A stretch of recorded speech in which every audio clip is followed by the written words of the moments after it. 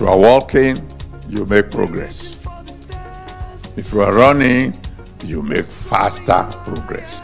If you are driving, ah, you are faster still. But when you are flying, you don't have to bend to the right, bend to the left, you go straight to your destination. I want you to open your mouth today and prophesy to yourself. Mention your name. I say, in the mighty name of Jesus, Adeboye, you will fly. You will rise.